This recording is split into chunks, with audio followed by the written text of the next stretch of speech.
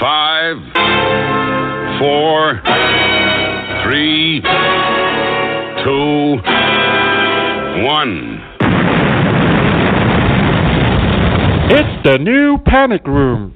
It's the show other shows want to be, and the show that authors want to be on. Da!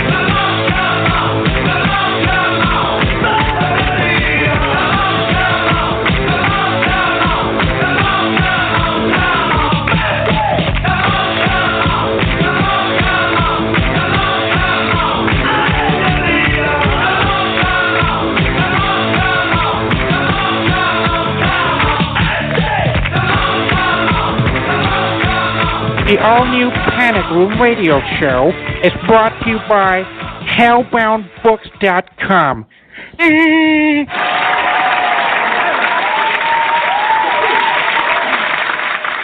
Well, good evening, one and all. It is the new Panic Room episode 126, and it's. Uh, I never, I never introduced myself. I introduced every fucker else, but not me. So I'm James H. Longmore, uh, author, publisher, um, media personality.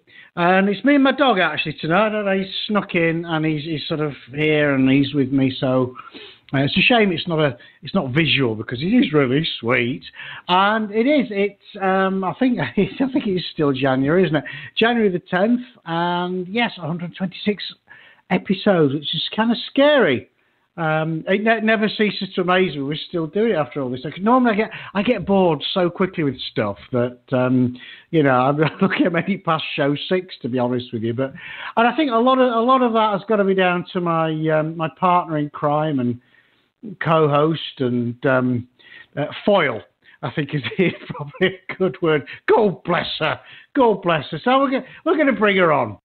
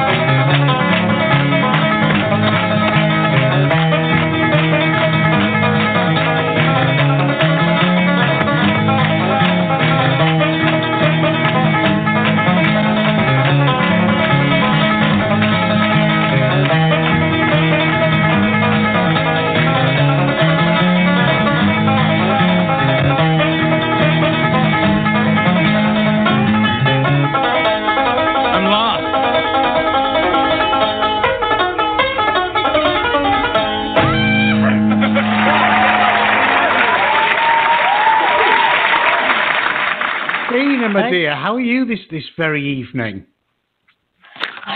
I'm good. I'm good. I'm a little bit frazzled, you know, and uh um but I'm good. And I I don't have a monster, but I, I do have some wine, so I'm hoping it calms me. Excellent, excellent. excellent. No, I just, I, I've, I've been holding off. I thought, no, you know, I, I, I had a, a, a one of those days, just like done lots of different things, and yeah, I am frazzled as well. I've been up since uh, a stupid o'clock this morning. I was awake well before the alarm. Um, yeah, it, it, it, about, you know, you shouted at me the last time I yawned for the show, so I thought I better do something about. Oh, I'll be in trouble again. And Do you know um, I was heaven forbid. I got up at like nine thirty this morning. Can you believe it? Me, nine thirty. What a.m. Wow. Yeah. Well, it's because there was somebody at the door and there were like five dogs barking, but you know, I still woke That's up. That's going to do it, Yeah. not it? Yeah, that's going to do it. Yeah. Yeah. yeah. Well, yeah, we get that. I mean, you know, you, you know, I'm, I'm sure, and it's usually the religious people, um, and they will, they, they will. I'm sure they hide around the corner. Know they must know when I go to the toilet. Yeah, and the literally the minute the minute I've sat down, you know, and this, on the and because the dogs go mad and and that and look, yeah, I'm I'm I'm in the middle of a dump. I do not want to talk about Jesus. Okay, seriously, you know, I tr- I try to be polite, but you know, fuck off. I'm I'm trying to have a poo, you know, I've scheduled this bit of time between my hectic work schedule to to, to you know to to launch a load, as it were. I'm knocking on my door to try and sell me the ba- tell me about G and the no, just uh, no, don't do that. You know, I'm not because we we have a, we have a sign that says no solicitors, which I think keeps a lot of the sales people away. Although the, the odd one tries to sneak through, but you know, I think that they, they don't think they're they're soliciting. Well, no, you are. You a you're disturbing me. B you're knocking on my door and say, "Fuck off! I'm having a poo," which I think is fair. And Do you know- anywho, anywho, what? Hmm? I, I was gonna say that me and my son were out walking um I don't know, not too long ago, and there were these um, Jehovah's Witnesses, and they were they just passed us by, and I- and I kept thinking, I I was a little offended that they did not try to you know save my soul or anything. They you know Yeah. that's their job. That's what they do. Well, I'll tell you, they- back back where I'm from, they they have um, uh, Jehovah's bystanders. and They they witness nothing. Everybody was That's, That it's a good one. That it's a good one. It's an oldie but goodie that one. But um, so anyway, speaking of um, absolute complete waste of fucking space, Right now, in a number of states, the laws allow a baby to be born from his or her mother's womb in the ninth month. It is wrong. It has to change.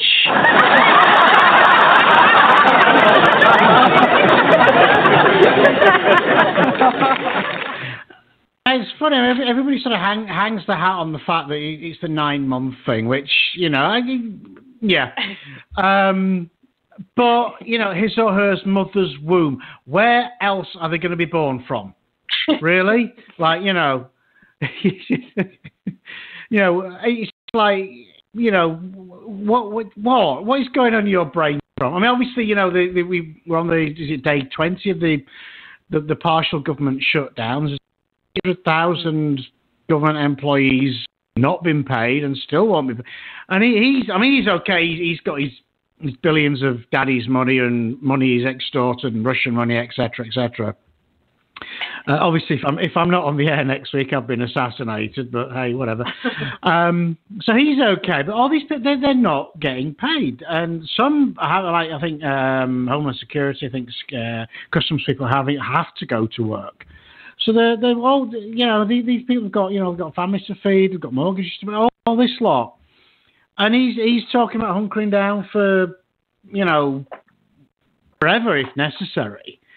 Um, and all off his wall. This is the wall that, again, quote unquote, and I'm, I'm going to dig it up for next week. Who said during his election campaign, Mexico is going to pay for the wall? And then Mexico said, mm, no, we're not.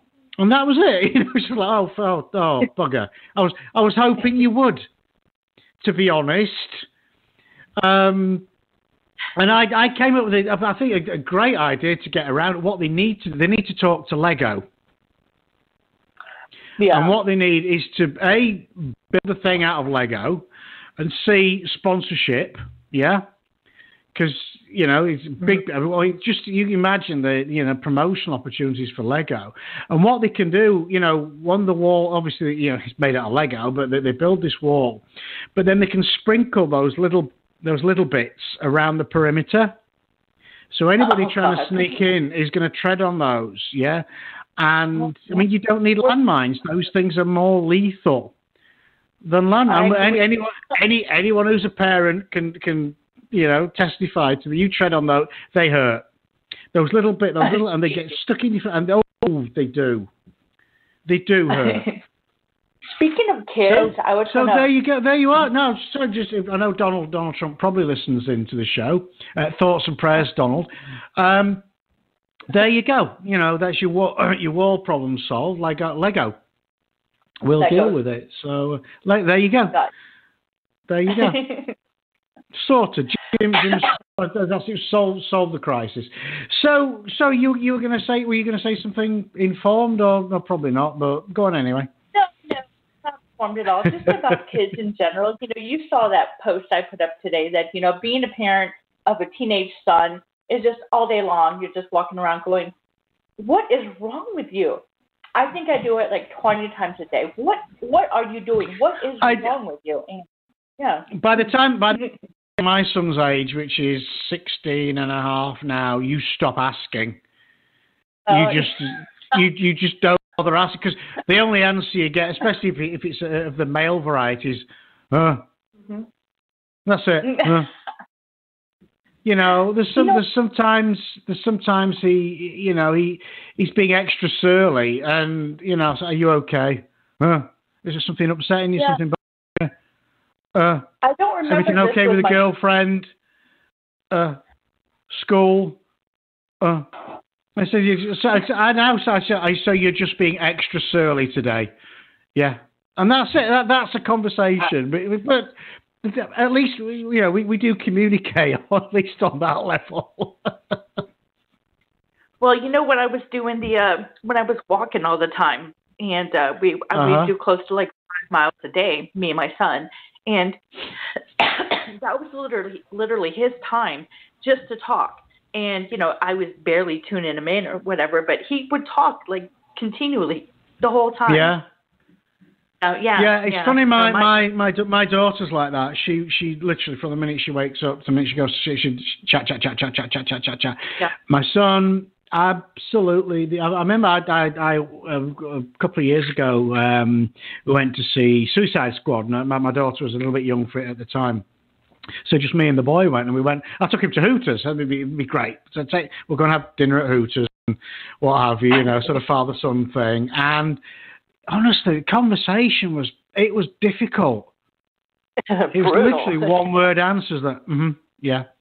Oh, God. oh, it was the longest sort of hour and a bit ever. Whereas do you know, with with with with with my daughter, you know, when we sit down as a family to to, to you know for dinner, you know, something uh-huh. you have to say just just just let somebody else speak. You know, you have to teach her how not dominating the conversation because she will. She will just go on and on and on and on and on, which is is it can be be entertaining, but it just you know if, if obviously other people want to speak here, you know. Yeah. No. Oh. Both my So, uh, Hmm? Anywho, Both my- anywho, anywho, we digress as usual. Um, I, I'm, I'm assuming we have a show. You know, if you've done your job, which you always and you do it admirably, um, we should have a show this evening. So what have, what have we got on this evening? Mm. You're drinking, aren't you? You're just. Mhm, No, I'm not. mhm. And I'm going to apologize now. I cannot stop coughing, so I keep muting myself, and I'm hoping that it's not too disruptive. Disrupt. Yeah. Anyway, tonight I'm going to have you. Yeah. Starting and everything. Stop. I know, and I'm I'm not even sick. That's the bad part, but I still can't freaking get over this stupid cough. But tonight we have USA Today bestselling action and adventure author Ernie Dempsey, and um, later on in the show we'll have award-winning author of urban fantasy, multi-genre, and Southern Gothic tales, Nancy A. Collins. Wow. Wow. Well, well shall shall we bring shall, let's bring Ernie on. I th- I'm I'm dying I'm dying to dying to meet him. So um, if you'd like to bring him on, we'll we'll, we'll get a cheer going. All right, USA Today bestselling action adventure author Ernie Dempsey.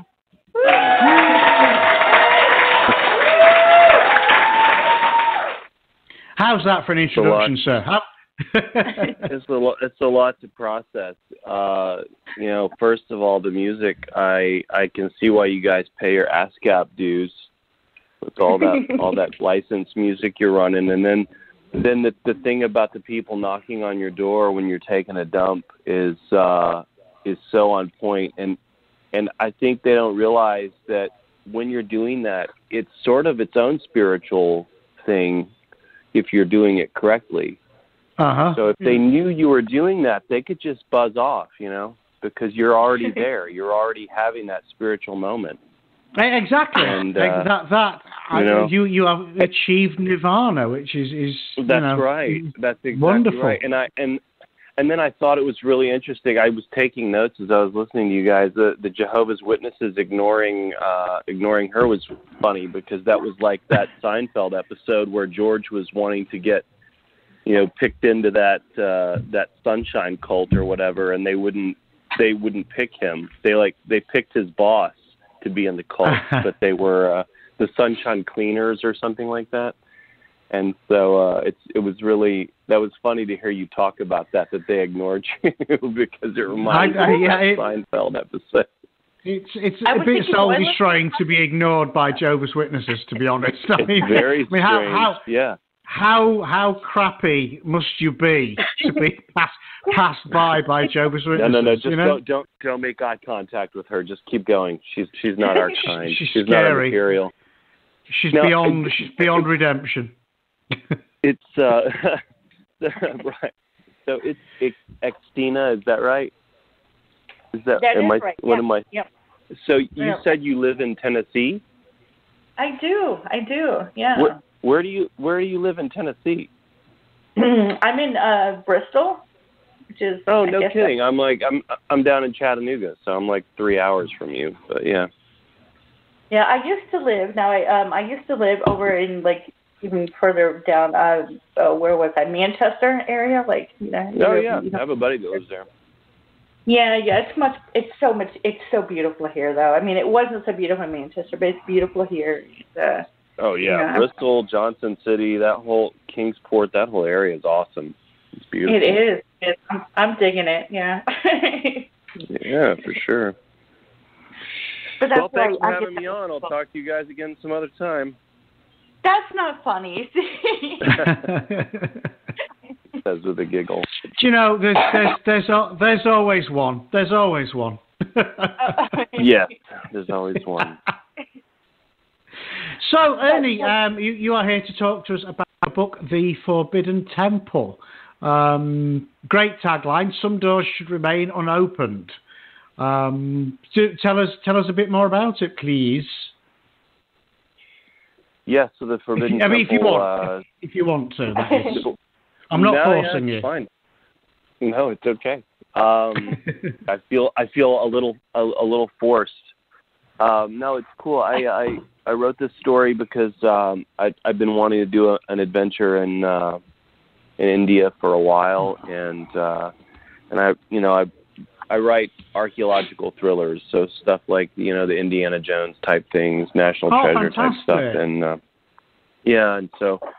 Uh, but India, I've, I've studied a lot of different religions and a lot of different uh, cultures in, in in my life. Uh, but India was one that I hadn't spent a lot of time with, and so I I dove pretty deep into it and uh, and found a, a fascinating mystery that's kind of ongoing still right now with a a, a, a golden temple that's there in Kerala, in uh, the state of Kerala, and uh, it's it's this temple that's it's covered in a sheet of gold basically and it's got all these vaults inside it i think there are six of six of them and they've uh there's the indian supreme court has given permission to open five of the vaults but uh and they've pulled out like 23 billion dollars worth of loot and and whatnot but Wow. they have not yeah it's pretty crazy and this stuff's been in there for like four five hundred years six hundred years something like that um but it's it's weird because they won't give permission to open one of the vaults which is called vault b uh, because that vault is sealed from the inside so whoever sealed it died inside there probably unless there's a secret way in. And then uh, it also comes with a curse.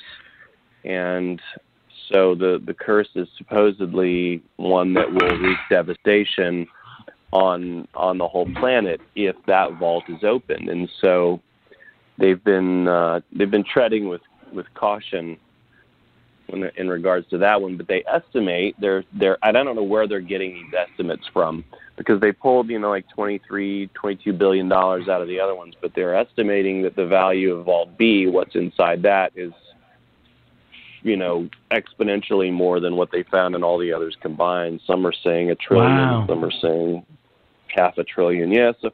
But they, you know, I don't know how they're coming up with that, but it's a. Oh, what is, is that in? Is that in gold? Is it in gold? Is it in jewels? I mean, what what what are yeah, what's in there them? was a lot of yeah, there was a lot of gold and jewels in the other vault, and uh, it was it was I guess uh, religious offerings like Mhm. uh, like Hindu offerings of some kind, but yeah, it's a strange, strange thing, and uh, they've got they've had these this uh, you know Indian commando team that is it was running security for a long time, and recently they they uh, pulled those commandos off, and now it's just like local cops that are running security. So all of those things together really like it was it was really uh, good timing for me because I was uh, it it all worked out to make for a really good adventure and really a, a fascinating fascinating mystery behind all of it and Yeah. I'm I'm glad that they hadn't opened the the vault yet at least because um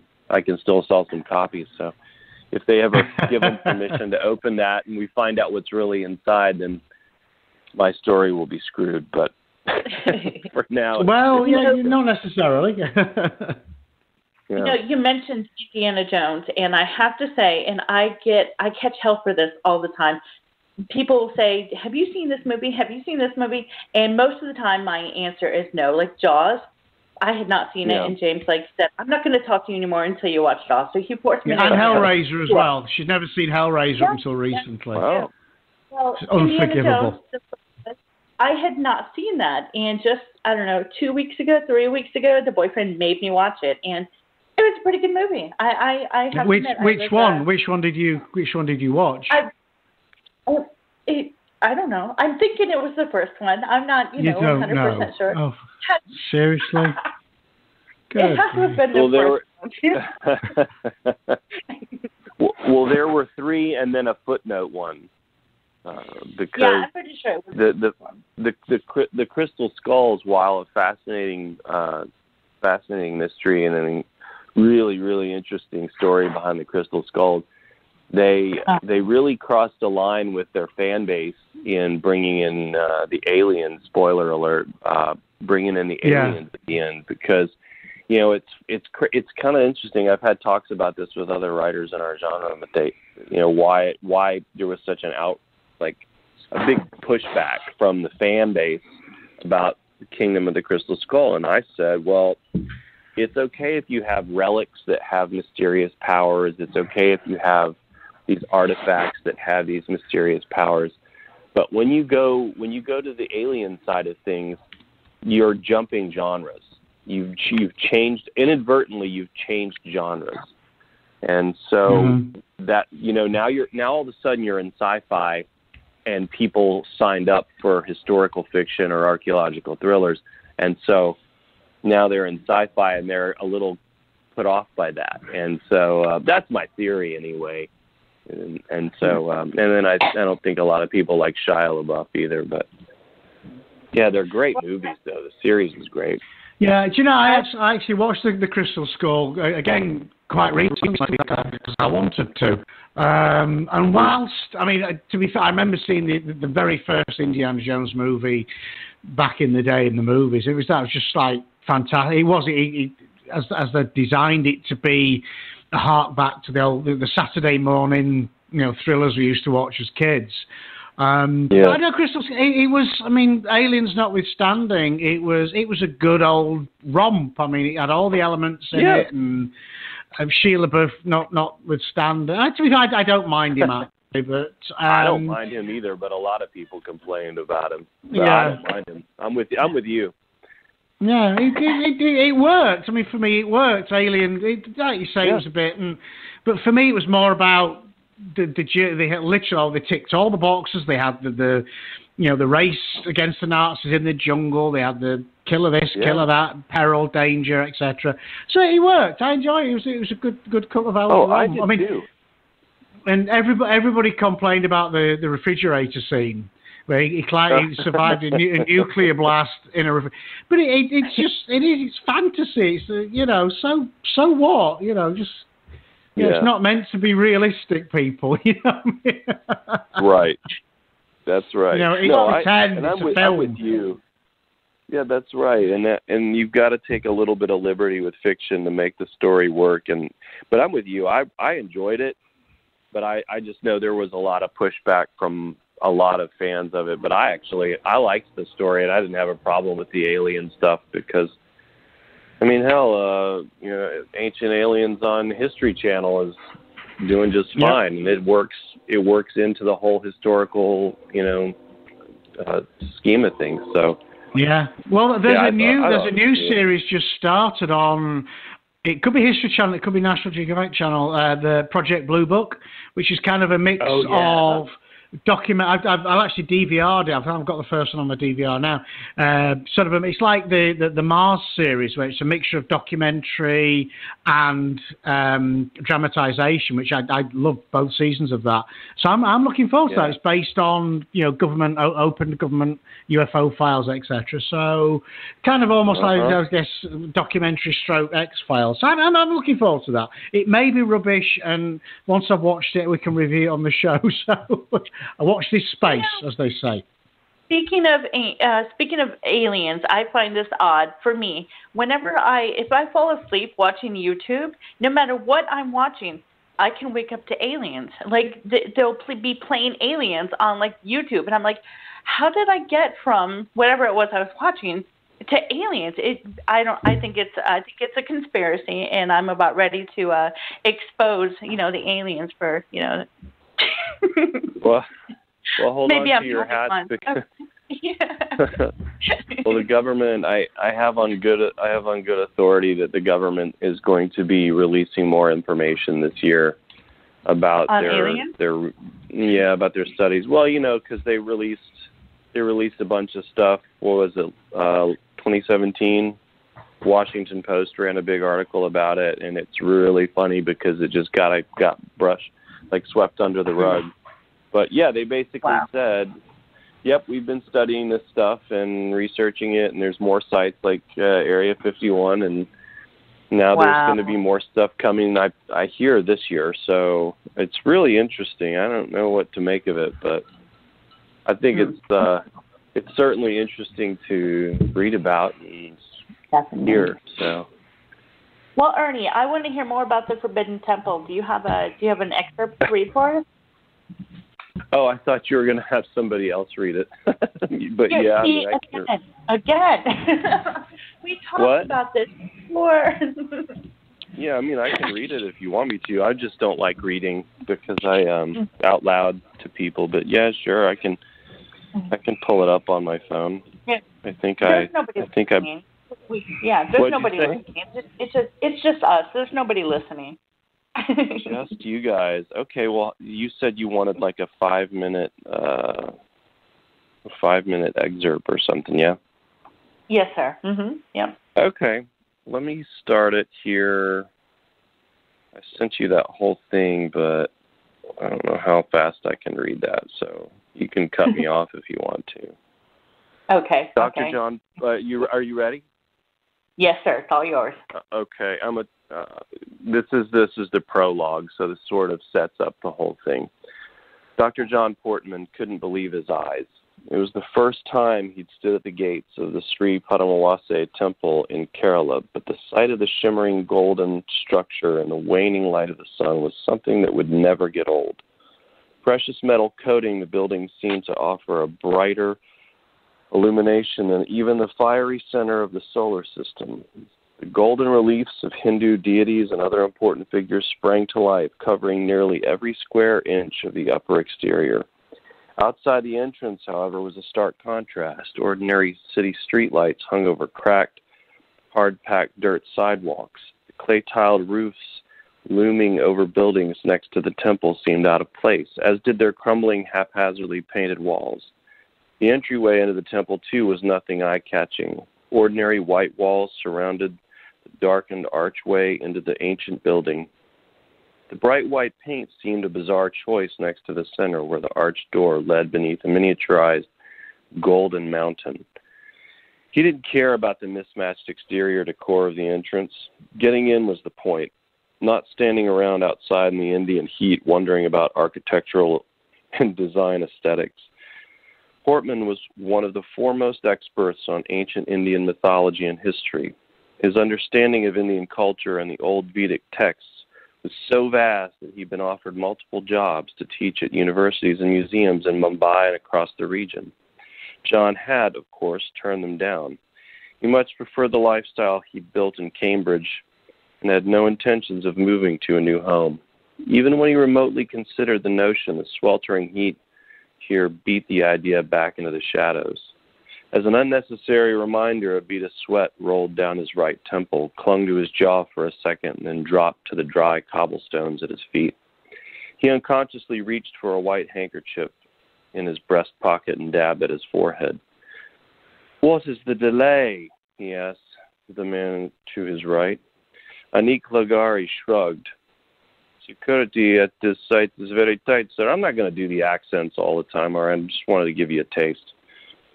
Okay. Anik was one of John's liaisons on this trip to India, one of the most on most of his trips to India. He'd been an extremely useful resource, and John frequently leaned on the younger man for assistance in cultural matters, such as the proper way to order tea. John tried to fit in as best he could wherever he went. Anik made Anik made that simple enough for him. It helped that the younger assistant spoke proper English, even carrying the accent without flaw. That was more than he could say for the other man standing on his opposite side. Rayan Chanand was also a good assistant, helpful and eager to get things done. He was, however, less the academic and more of a brute force type. The tall Indian hovered over the shorter Dr. Portman, standing five inches over six feet tall. His bronze, muscle strewn arms glistened with sweat in the afternoon heat. Rayanj listened to the conversation with his jaw set firm as he stared ahead at the gate. Something about his gaze might have been unsettling to anyone who didn't know the man, but John and Anik simply assumed it was grumpy Rayanj. They are clearing us to go in, sir, Anik answered the professor's next question. I'm aware that's what they're doing, Anik. I just don't understand what's taking so long. Patience, my good friend, Anik offered a simple smile and patted the older man on the shoulder. It was a gentle gesture, but it still shook the wire frame glasses on John's nose. This is an extremely sacred place to us, even for a world renowned researcher and historian such as yourself.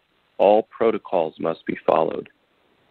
John reached up and pressed the glasses back up toward his forehead. Indeed, he said, though his voice didn't hold an ounce of sincerity or understanding, it wasn't that he believed himself better than most. He simply wanted out of the oppressive heat.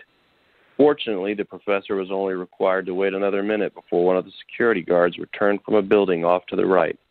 John wondered what could have possibly needed to be settled in the little shack to approve his visit when all the necessary channels had already been cleared. He only spent a moment on that thought, knowing it was fruitless and would only exasperate him. The guard handed John his papers and gave a nod. Follow me, sir security guard ordered. Finally. John picked up a small bag lying at his feet. His two colleagues hefted similar bags in each hand and started forward through the entrance. It wasn't the first time John Portman had entered the ancient temple. He knew what awaited beyond the gates. It was why he was here, to analyze the mysterious vaults within and perhaps try to open them. The temple was a structure dedicated to worship of Lord Vishnu, one of more more than a hundred centers of worship in that area that gave patronage to that particular deity. It had been built in the medieval era of the former Tamil Empire, construction beginning in the early 7th century. The temple was, tremend- was a tremendous source of pride for the people of this region, and the idea that an outsider from England would be given permission to examine anything within smacked some of the locals with stinging suspicion. John, of course, didn't care about that. He had one thing in mind to get into one of those vaults and find out what awaited beyond the mysterious doors. The Indian government had grant, hadn't granted him permission to open the vaults. That was something John figured would require much deliberation, committee approval, and votes from politicians. In the end, they would deny him the opportunity. However, accidents happen from time to time. Who was to say that he didn't accidentally open one of the vaults while conducting his research? His mind was made up. He had to know what was beyond the vault doors. It was a secret that had been kept for hundreds of years, perhaps more. While his tiny fleck of an ego didn't care about fame and accolades, there was something deeply appealing about becoming the first to open the forbidden vault.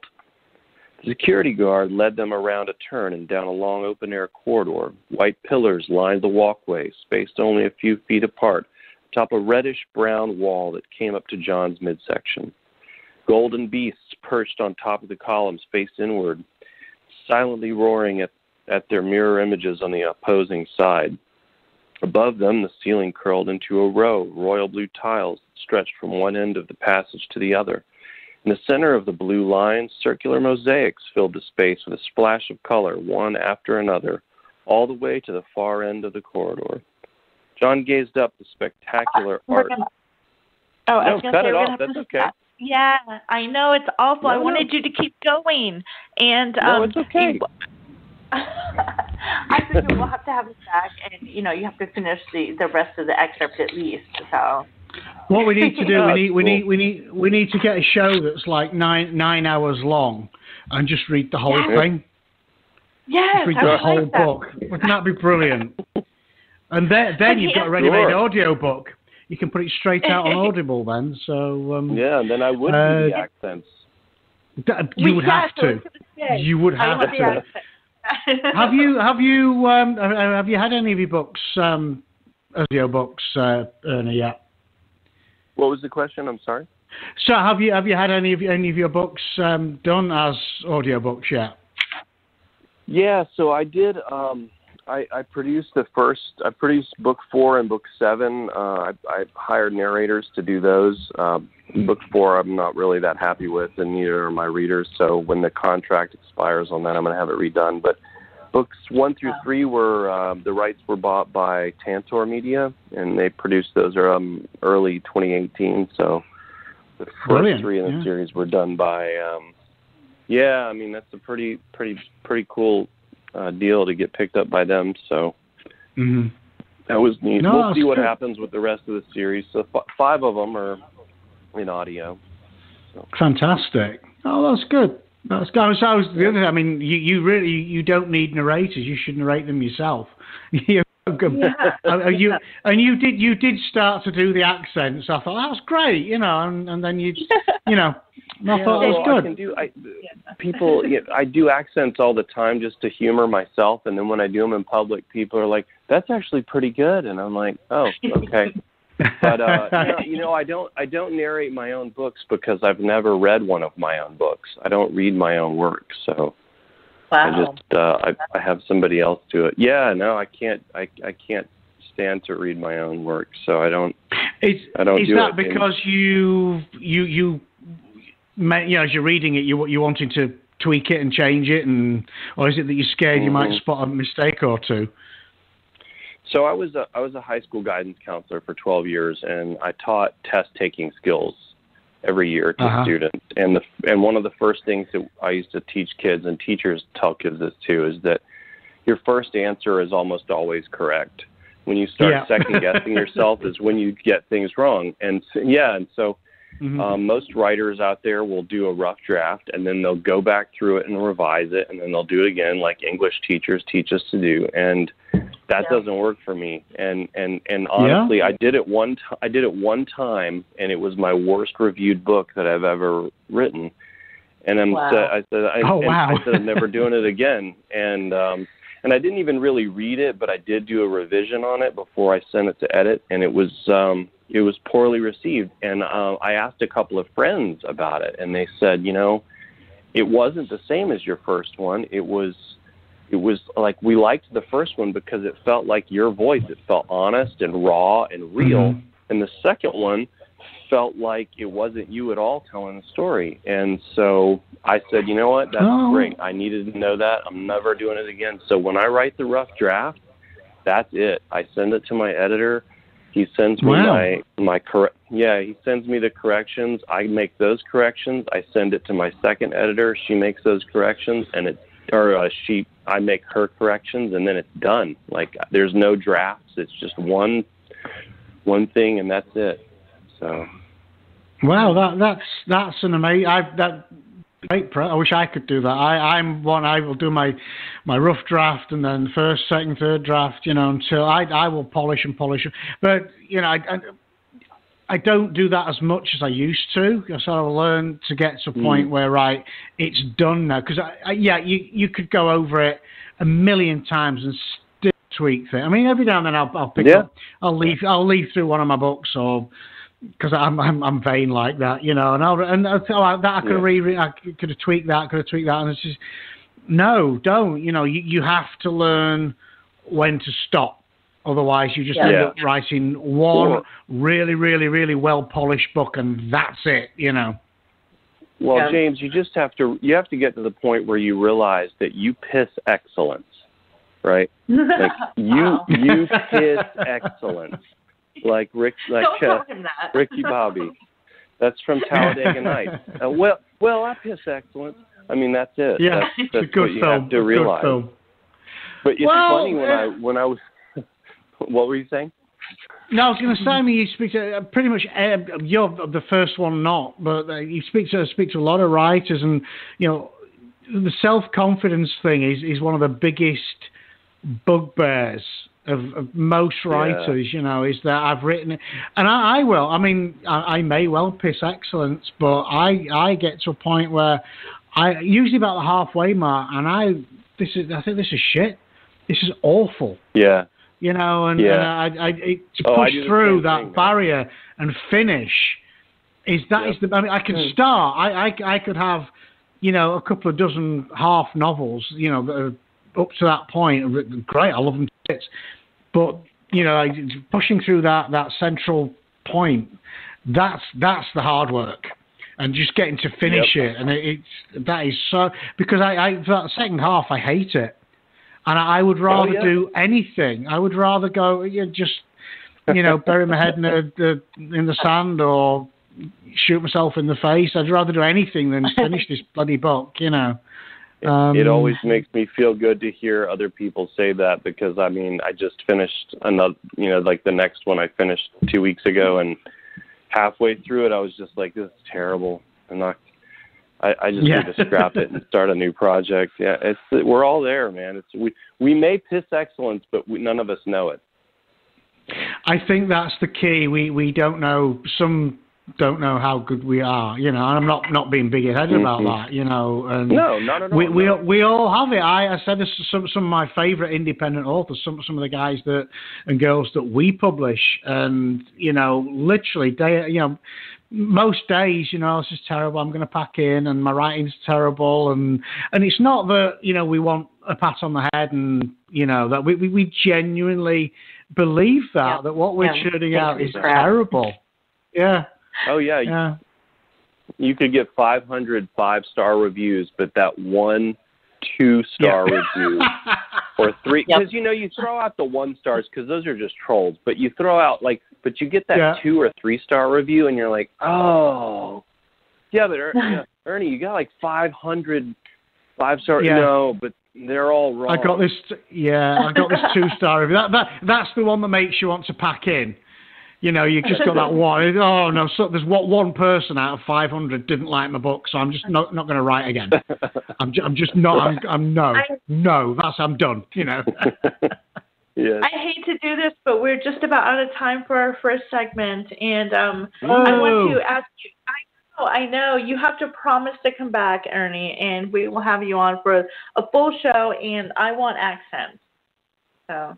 oh yeah sure i can do that Well, Yeah, what we must do if we're if we're gonna if if Xtina is going to insist on that, what we need to do is make her do them, make her do some of the Oh. characters, because she's so good at that. That's always Oh, It's so yeah, entertaining. Trust me, so entertaining. Yeah. I'll have to give him the link to that show that was just, it was awful. You don't want to hear it. You don't want to, but you know, you No, might it get is. laughed, It's so- probably the best, probably the one of the best shows we've ever done. It was, it was just so brilliant. Oh, it was yeah. real it was just real it was. It was. Um, so tell us real quick where we can find you online, Ernie. You can find me at ernestdempsey.net um, or on facebook.com slash Ernest Dempsey. There's no A in Ernest, just E R N E S T. And uh, that's it. That's where you can find me. I don't use Twitter much except to troll uh, other sports fans. So What sport? What sport, real quick? um, I'm an Atlanta United season ticket holder, uh, an Atlanta Falcons season ticket holder. So soccer and football, baseball too, and hockey in Nashville. So, yeah, soccer. Yay! We could talk soccer. Yep. That'd be great. yeah, yep. Okay, well, I will get your links put up on our Facebook page. If anybody wants to stalk you, they can go there and do it. And again, I want to thank you so much for coming on the show, and I'll be Yeah. stalking you to book you to come back. Thank you. Do it. I'd be happy to, and I won't It- mess it- up the time this time. I, I'm still the whole time zone thing is alien to me, so um, you're in good company there. But no, it's, it's been it's been an absolute pleasure, and thank you so much for joining us. Yeah. Thanks for having me, guys. Thank you, and we will speak to you again very soon. Okay. Have a good Right. have a good evening. Night. Bye. Okay. Good night. Bye bye. Right, and we will be right back after uh, after these messages, as they say in you know in proper shows and whatnot.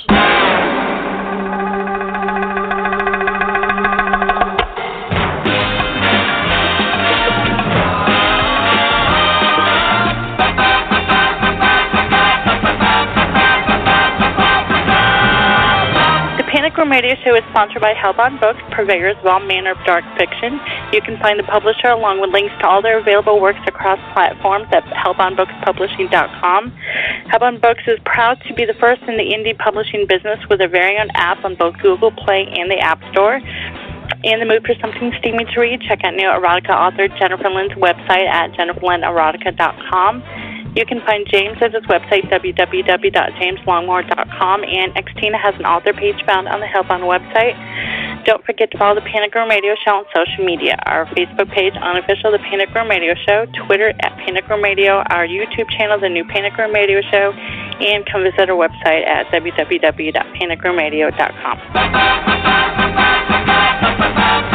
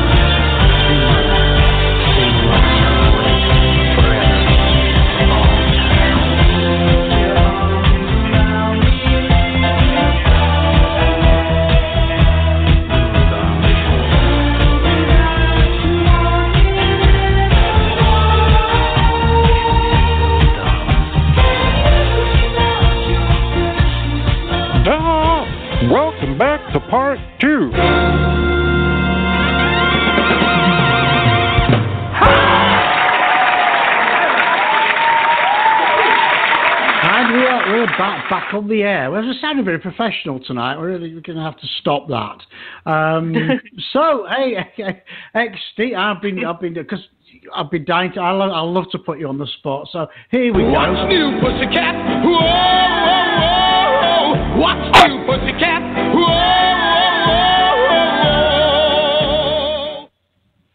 So, hey, and you have no idea what.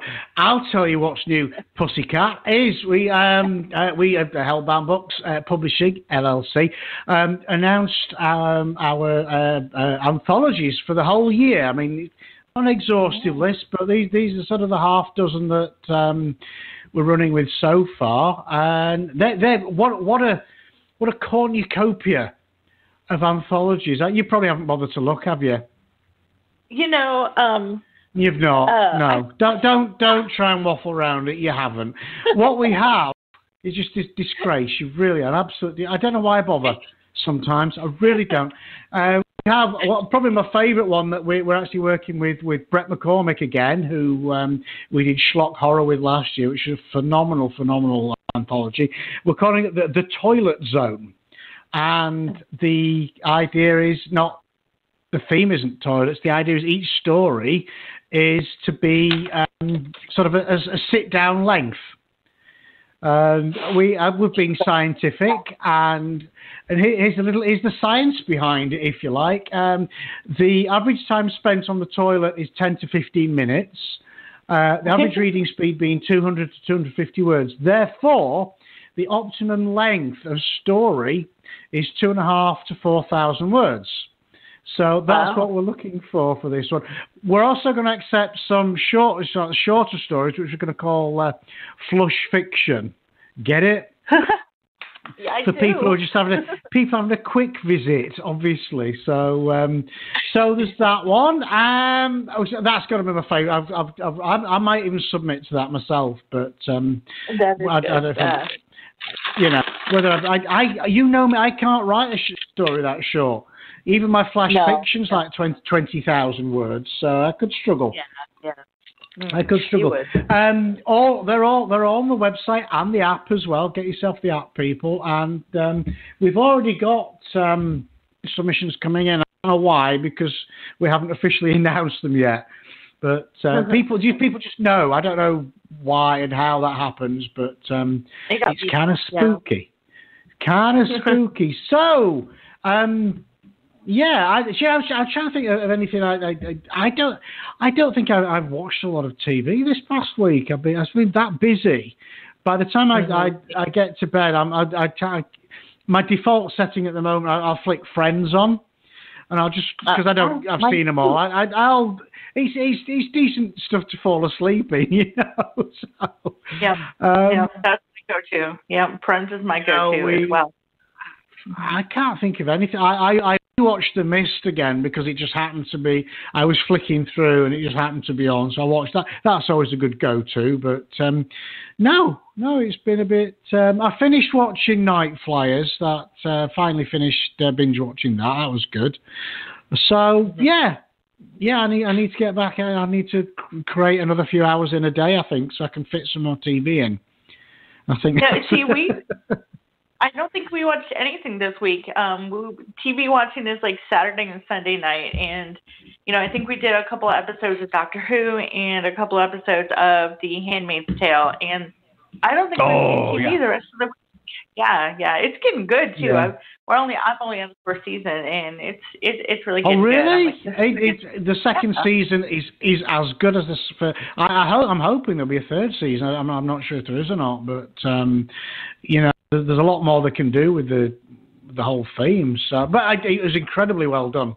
Well, once I once I got past, you know, the thinking it was a period drama, thinking it was like. Downton Abbey or something. I can't believe I did that. Seriously. What am I like, eh? What am I like? So, anywho, anywho, anywho, anywho, um, what's coming up next? Coming up next, we have award-winning author of urban fantasy, multi-genre, and Southern Gothic tales, Nancy A. Collins. Woo!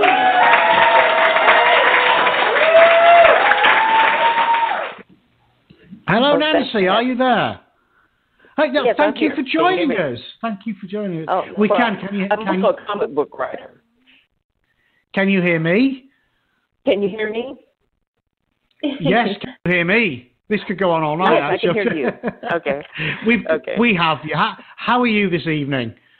I'm fine. Uh, I, I was going to say I'm also a comic book writer. Oh, fantastic! So d- Xtina missed that out. You know, you, you can't get stuff. You really can't. Dear I didn't see that. I didn't see that on the Amazon uh, uh your your bio. I, I that's where I get my info. You know, is, is from there. So I didn't see it there. Yeah. No, I used to I used to write Swamp Thing. Oh, Really? seriously? How cool! Yes, Wow. uh, I'm the only woman to have written Swamp Thing.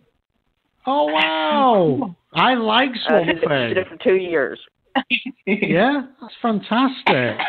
So, I mean, you you write obviously uh, across a lot of genres. Wh- Which where, where does your heart lie? Which is your favourite? Well, uh, I started off in horror, um, and um, that's what I'm primarily known for, I guess. Really, although I'm also kind of credited as being one of the authors who invented urban fantasy in the late '80s, early '90s. Back then, Uh-huh. it was just called horror or fantasy, and you know, there wasn't a the bridge that there is now. Uh, but my first novel, Sunglasses After Dark, is now considered one of the first urban fantasy novels. I Oh, read fantastic. that. I was yes. I you know I was hoping she would bring that one up, and I I don't want to say when I read it because you know that's gonna you know make me feel really old because it was like a long time ago. Not as not as But- old as the fact that I wrote it. I, oh, I looked it up to uh, see when it came out, and I was like, oh my gosh! I remember the cover. The the I think it was the the first cover, which wasn't it. I don't even remember now, but it was the I think it was the first cover, and that caught my eye, and that's what that's why I picked it up was the cover, and I remember yeah, yeah. The first cover How- was all white. Was white. Uh, yeah. and had no typography on it whatsoever. Just Yep. a just a Yep. was just so the cool. character's face. Yeah, it was so cool. It was, and I remember. I still. I. I can't be positive, but I believe I was still like living at home, and I remember it was the first book that had like erotic scenes in it that that I had read, and it was a vampire thing, and I was like, oh, I have to read this. I can't let my mom know that I'm reading this, and it was so cool. It was. It was great. It was probably my first. Uh, my first, you know, into the the, the, the dark, um, you know, erotica stuff. It, it was great though. I loved it. Well, I'm I'm not ashamed to say that this year, 2019, is the 30th anniversary of the book's publication. Wow. wow, that's awesome! Congratulations. Thank you. Uh, yeah, that that's the one I got. I, I got all the awards for. Uh, the and the character Sonya Blue has Sonya Blue. Yeah. been in. Yeah, the female punk vampire slash vampire slayer. Um, and um, there's a, there's been five or six. Um, I'm, I'm working on the seventh book in the series uh, right now, and uh, along. Uh, and there's uh, there's we've got some um, some uh, I don't want to say Hollywood because it's not really Hollywood, but but um, we've got some media involvement in in developing that right now. So um, wow. hopefully for a streaming series, but. Uh, but I've been poked with a stick numerous times uh, by Hollywood uh, regarding this character. We'll, we'll see if this is one that actually manages to to to make it into the big or small screen. Yeah, So- fingers crossed. Fingers crossed. Because I mean, Hollywood, Hollywood is, is not necessarily Hollywood anymore. You know, I mean, it's obviously with streaming. I mean, I know Atlanta is. Um, I, I still have a bunch of friends sort of around the movie industry, and Atlanta seems Oh, yeah, to be where it's where- at that's at the moment. You know. Oh right, yes. So you you know, it's the place to be for movies at the moment. I think it's because the, Oh yeah, I, there's a uh, lot there's uh, a lot of they incentives shooting- going about. hmm They were shooting Walking Dead uh, about a mile from my house this week. Wow, Oh, brilliant! nice one. So, now, speaking of vampires, um, with you know sunglasses after dark, what is your favorite, like you know, maybe movie vampire or uh, even you know TV? Like, were you a Buffy fan or you know? Uh, I I never watched Buffy to tell you the truth because that was coming out when I was doing most of my novel, Sonya Blue novels, so I kind of steered clear of that um, for you know my own protection. um, Right, right. But but uh, in terms of um, when I was younger, uh, things like Dark Shadows was a big influence. Um, Yeah. uh, uh, one of my favorite vampire movies is uh, Near Dark. Uh, Good one. uh, No, yeah, yes, it's a I, I've since one, yeah. become I've since become friends with the guy uh, who was the screenwriter for both. Uh, he wrote both Near Dark and The Hitchhiker. Uh, Eric Oh, Red. Oh wow, cool. Uh, but, the, but probably the biggest influence on me when I was younger was the Marvel comic uh, t- uh, Tomb of Dracula, which is where Mhm. Blade came from. Oh, I like Blade. Yeah, that that was that was back back, back during the 1970s. Uh, it was, uh, the art, uh, the writer was Marv Wolfman, and the artist was Gene Colan, and that ran for like years. And Mhm. uh, uh, but that's where where uh, Blade first popped up. And back then he was more mod- he was more like Shaft as opposed to like you know like Wesley Snipes.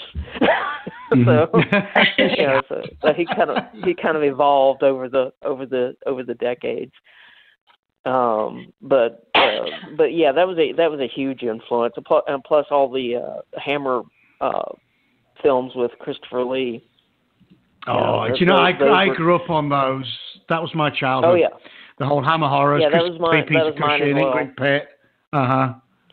Yeah. yeah, I yeah. to, and yeah, it, yeah, I've, I've yeah, said before. yeah. I mean, I, I used I used to stay up uh, late, sort of, sort of sat down. My parents would go to bed, and I'd leave me down. This is back in the old days when the house had one TV. It was in the in the living room, and it was Yeah. funny. My mum always always seemed to need to get up to go for a glass of water downstairs.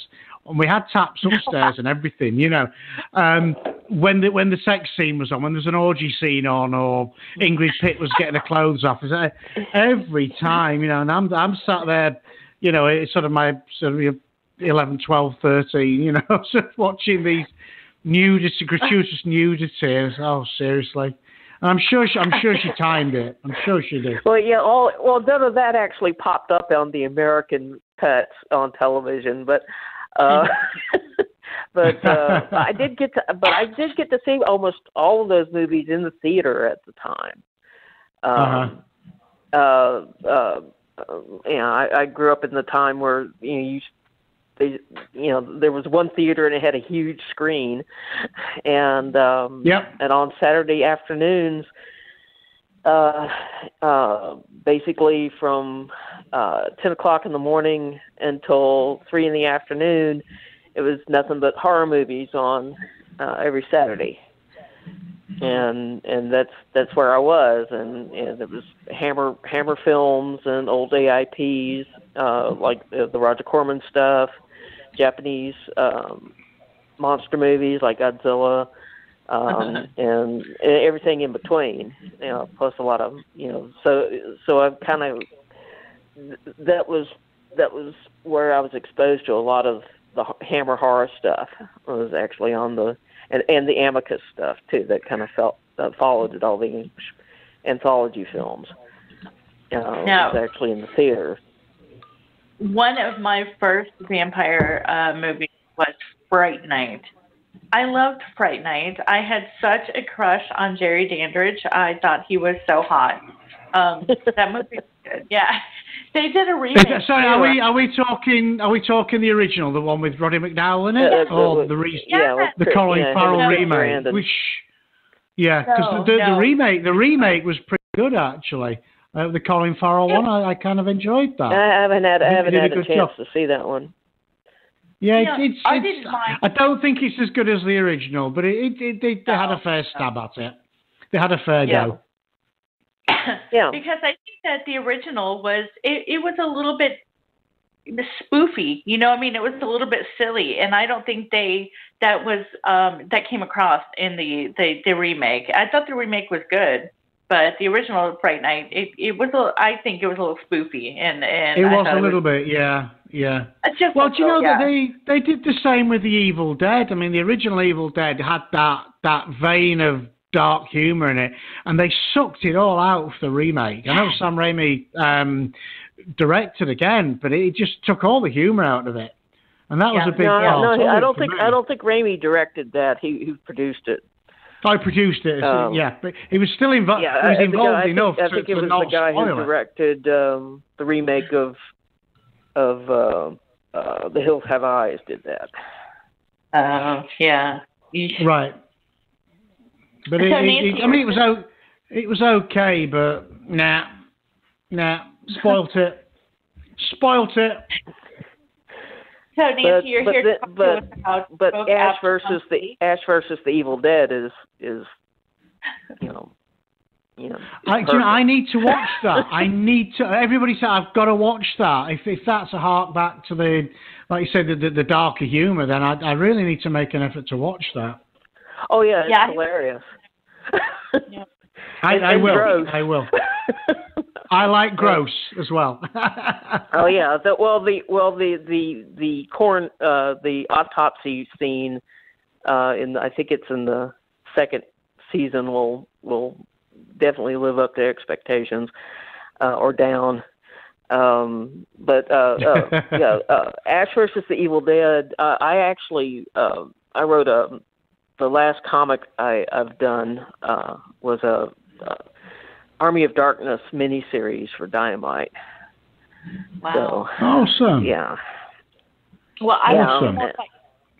I want to hear more about your book. You're here to talk to us about Absalom's Wake. Can you tell us about Yes. it? Yes, Absalom's Wake is a uh, uh, my most my most recent novel. Um, it's uh, it's a weird whaling novel, uh, which is basically the the the conceit is if what if what if uh, Herman Melville had created the Cthulhu mythos instead of H.P. Lovecraft. Excellent. And- great idea. I like that. uh, but in, but instead of like writing, in, it, it's written in Melville, as close to Melville style, without it actually being um, Moby Dick. but um, uh, but basically, uh, it kind of combines elements of of Moby Dick, Billy Budd, um, uh, Typee, and uh, Redburn, uh, uh, with, along with Wow. elements elements of uh, Lovecraft, and um, uh, without being explicitly, Cthulhu is never mentioned by name, but the, uh, the theory being, if Melville had written it, he wouldn't have called it Cthulhu. so, but um, but but keeping it more in feel in, with the fact that Melville himself, unlike Lovecraft, had actually been to the South Pacific and had lived with you know the natives Mhm. and been with you know that's how he became famous is basically because he survived living with cannibals for you know like the better part of a year um and ri- Yeah. and writing you know basically what were you know travelogues um until he wrote Moby Dick and then everyone hated that and he stopped writing oh well. but uh, you have a- the the con- the conceit for behind Absalom's Wake or the premise is that the it's a first person story uh, told by the sole survivor uh, the sole survivor of the SS Absalom, which was a whaling ship, and he, at the time he's he's a young man. He's like 16 17 years old runs off to to um to uh, make his way as a on a whaling ship because he grew up uh listening to his his uncle uh tell all these you know amazing stories about well his time on out in the South Pacific when he was on a whaler. And when he when his uncle dies he leaves him his sea chest a letter of recommendation to a captain his old captain and uh, an amulet uh, that's uh, carved from coral that resembles a, a, a dolphin. That's um, so he takes all these three things and goes to and goes a whaling, um, and um, and th- th- from there on in, it starts involving things like were sharks and were dolphins, and Wow. uh, Oh, excellent. and the, the king and the, uh, and the king of the ocean, uh, uh, Tangaroa, the um, the the the, um, the god of the whales and the god of the uh, the sea, and, and creatures called the ocean-born, which Mm-hmm. are uh, kind of like um, you know, my uh, it, the, the Lovecraft's Lovecraft's creatures were from outer space. ex- You know, even Cthulhu is theoretically from outer space, even though they look like a giant octopus. Um, but with this, the idea is if Melville had created the mythos, everything would have just come from the ocean instead of from outer space. So these things don't walk between the stars like the old ones and the elder gods or whatever. These are um, these are the ocean born that, that emerge from the uh, born and from the depths of the ocean. So, Awesome. I want to hear more about it. Do you have a reading for us? Uh, yeah, uh, I've got a little passage here. Um, uh, the the only setup I have is that the the young narrator whose name is Jonah um, uh, is his he's having his first um, um, shore leave. Uh, and he and his he and his uh, good his good friend Santo, who um, the ship's cooper, go off onto uh, onto the island, and they meet up with um, uh, a Englishman, uh, uh, a remittance man. Basically, he was sent sent sent there by his family to be out of the way, and um, uh, and and he's invited them to come to his place, and they get drunk and they pass out on his porch, and um, and he has a weird dream, and um, and w- about the this giant whale that they're hunting that's called King Jim, and Okay. uh, and it wakes him up, and uh, it, and he basically what they'd they'd run across a couple of some seen some cannibals earlier uh, in the day while hanging out at at the bar, and uh, uh, and so the, the, the, it starts off with him waking up and discovering that these cannibals have followed followed them back to this guy's hut. So, Wow. Okay. It's all yours. All right. Okay. The one-eyed headman stepped forward while the others pinned the Cooper's arms to his side, keeping him from rolling free of the hammock and bared his horrible, foul teeth. The cannibal's mouth seemed to grow to hideous proportions like a snake unhinging its jaw before he bit deep into Santo's exposed belly. The Cooper's angry shouts quickly dissolved into shrieking, the likes of which I had never heard from a human being.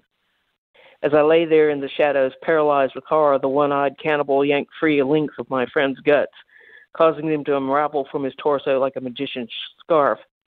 The savage then swallowed the mouthful of pulsing living flesh whole without the use of his hands, his throat seeming to expand as he gulped down the hideous meal. Excited by the smell of their victim's blood and the sight of his agonized thrashing, the remaining cannibals set upon poor doomed Santo, ripping into his struggling body like a pair of boars rooting for truffles. Get off my porch, you bloody bastards, his lordship yelled as he charged out of the bungalow, armed with a native paddle spear fashioned of koa wood. The Englishman attempted to brain the one eyed cannibal with the oar blade, but his opponent proved to be far too swift. The savage dodged the blow while sweeping the aristocrat's legs out from under him, causing his lordship to drop the weapon. The cannibal headman then snatched up the paddle spear and drove its business end through his lordship's chest, pinning him like a butterfly. The sight of the blood spurting from the dying man's mouth like the crimson geyser in my nightmare shocked me from my paralysis. Leaping to my feet, I ran towards the beach in the direction of the Absalom. As I sped along the sandy beach, I heard angry shouts behind me. I glanced over my shoulder and instantly wished I had not looked. The trio of cannibals were in close pursuit, their tattooed faces smeared with the blood of my friends, their horrible shark like maws opened impossibly wide as if to swallow me whole. Yikes. That was great. Oh, good stuff. That was a nice bit of nice bit of gore there. I love that. Yeah, love yeah, it. Yeah, that. Well, when you're dealing with, you know, you know, you you, you got to bring it with the cannibals, you know. Oh, Yeah, you you can't go they- wrong with cannibals. Yeah. Well, especially if they happen to be were sharks on top of it. So. I love I love that that is I mean why why have why is Sci-Fi Channel not done were sharks yet? I mean you know they should do that. Well, they may have. I just. They actually they they did um they did one. It was a cross. I forget what they called it. It was a cross between a killer whale and a wolf. It wasn't. It didn't transform. It was like a mix of the two, and that was that was. eh, It was one of those. It was so bad it was good. You know. It was. um Yeah. but I like the way shark eye. That is that is tremendous. Yeah, that's that's all- all that's actually just taken from Polynesian myth. I mean, they're they they have um, a lot of a, a lot of stories about sharks taking the form of men and coming up on land. Uh, so, yeah, you know, they're they're shark gods and things like that. So there's, I did a lot of research and um, uh, tried to incorporate as much of it as I could into the story to make it give it a bit of a, a bit of a feel. but um, No, but, so but yeah, it's- uh, uh, Absalom's is is available through um, both as the ebook and um, and print through uh, uh, Amazon. Uh, uh, the print edition is uh, uh, we, we've just now made it available in print as of as of uh, as of December, and Wow. uh, it's through Macabre Inc., which is a, a branch of uh, Crossroad Press, and um, we're uh, the it, we're in the process of changing the covers. Uh, it still has the old cover on it, but we're getting a new cover by Bob Eggleton Eccleston on it uh, sometime in the next week. We're, we're hopefully we'll get the, get that uh, uh, up onto the uh, up and changed onto uh, Amazon uh, by next week. Mm. So, And but, what did you but say it- you were working on now? Uh, right now, I am writing a. Um, I'm doing two things right now. Um, I'm doing a work for hire uh, original Vampirella novel for Dynamite uh, Entertainment. Um, I also wrote Vampirella for about a year and a half, two years um, recently, and uh, now I'm doing a prose novel for them, kind of a tie-in. Um, I don't I don't know if it's going to be in print. I do know it'll be available as ebook, but I'm not, I'm not 100 percent sure if they're if they're going to print uh, do a make a print edition of it. Probably will. I mean, but but it it's probably going to be an ebook first. Um, and I'm, I'm basically working on that right now, and it's a more the more uh, quote unquote traditional Vampirella, where she's from outer space. Is they keep changing her origin on her. So, but I'm uh, but I'm kind of writing it as a as a uh, uh, kind of a space opera. Yeah, Uh, I, you know, I'm, yeah. I'm trying to make it a thing now where all of our uh, authors who come on the show who um, write about vampires ever, I, I want to know from them what they think about the Twilight sparkly vampires. well, wow, I like that. uh, uh, basically, uh, you know, my my motto is no, you know, no sparkling. no Sparkling. so, um, uh, bas uh, to, to be perfectly blunt, I it, it Twilight came very close to killing vampire fiction in the English language. yeah, yeah. Uh, uh, uh, written for anything but uh, outside of the young adult market. It, became after it became impossible to sell a vampire novel after Twilight came out. especially Yeah. one that vampires that aren't you know like you have buffy's but you know and and on buffy they had some really hot vampires you know angel was hot spike was hot and then you have the vampire diaries and again i think it's like stefan and damon or something and they were both you know hot vampires so then you try to actually write a a real vampire novel with you know scary vampires and nobody wants that you know they want the i guess they want the teen heartthrob vampire and you know they're no Well, fun they aren't. Oh well, or, or people have got. I it, it's go- it, it's going to take a. It, the scary vampires are slowly making a comeback because, um, but it it'll take a while. Uh, it'll take a.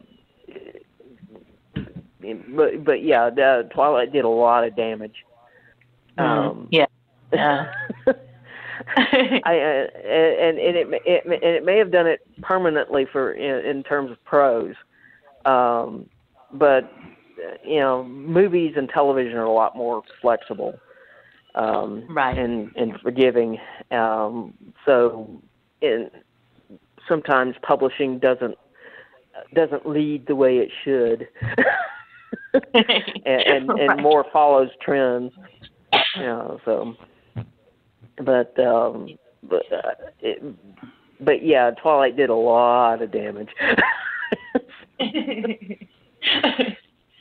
yeah, you know, I can't say that I hated it, but you're right. I mean, it, it really, um, you know, that's not what vampires are. You know, they're not sparkly, they're not nice and sweet, and so yeah. they don't they don't Um, they don't sparkle No, I hate to say this, but we're just about out of time for our show, and it went by way too fast. And I have to, I have to beg you to come back. I want to book you to come back for a whole show, um, and then we'll just sit and talk about vampires and and were sharks and and everything else. I, I, I want to, I, want to were shark, were shark. Like I, I, need, I need that in my life, definitely. No, sparkly ones.